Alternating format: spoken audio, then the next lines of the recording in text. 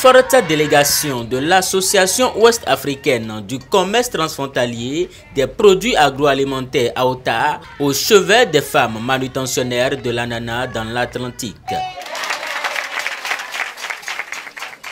Objectif, doter ces femmes de matériel de protection adéquat pour la récolte dans les champs.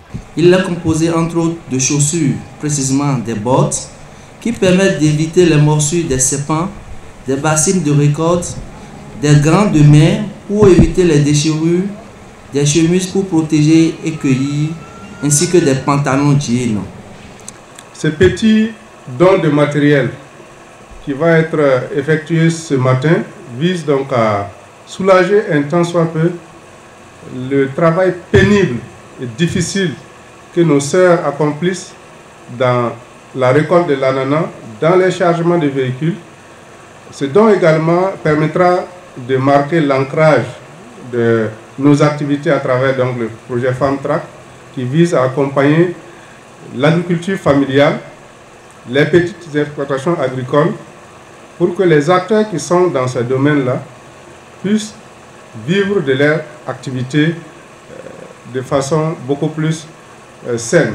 awota si gbɛta ekunɔ nɔ biro ete awota awota yɛ nɔ dze hun to glesi de kɔmɛ lɛ bɔ azɔn wa si tame wɛ azɔn de mi de mi no wa ne. Ce geste est à l'actif de l'Association ouest-africaine du commerce transfrontalier des produits alimentaires agro-silvopastoraux et halieutiques. Il est le fruit de la collaboration entre cette dernière et le syndicat national des producteurs et exploitants d'ananas.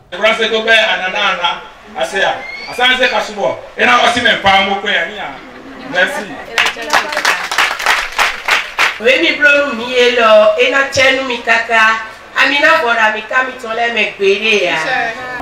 eyi mɛ bia yi kɛwa na. Mɛ ena mɔlɛ yɔ yina dewu. Milɛ ibo wa ko devo nuɔ mimɔ devo ɛna mina sɔ hɛn milɛ sɔ yi fi devo. Bɔn yɔrɔ na jɛ sisan ti ŋu ŋu mi kɛwa yɔ esu wa. Gamitɔn ka yi ko ti yɔ edogbe nu mi.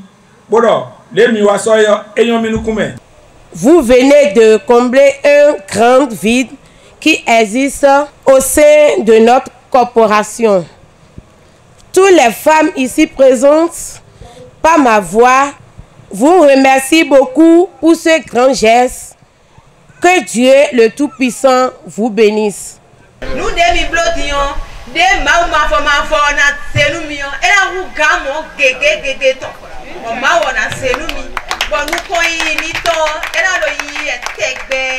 Cet acte fait suite à la visite des membres de l'AOTA dans les champs le 30 mars dernier pour constater les difficultés de ces braves femmes qui constituent la cheville ouvrière importante dans la commercialisation transfrontalière de l'ananas.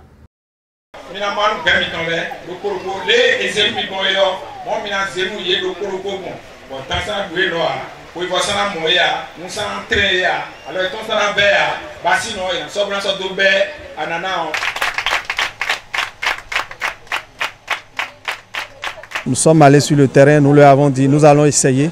Et déjà trois mois après nous sommes ce matin-là pour leur remettre du matériel de manutention.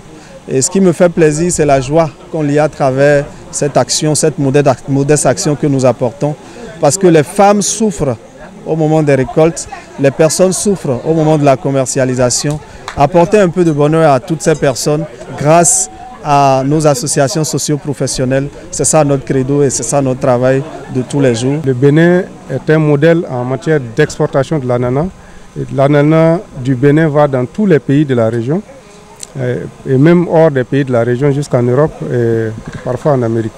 Ce matériel va permettre donc à ces femmes de récolter, mais également de charger les véhicules qui vont en direction donc, euh, des autres pays. Cet acte hautement social va non seulement pallier aux difficultés des femmes lors des récoltes, mais au-delà renforce les relations bilatérales entre l'AOTA et le SINAPEA.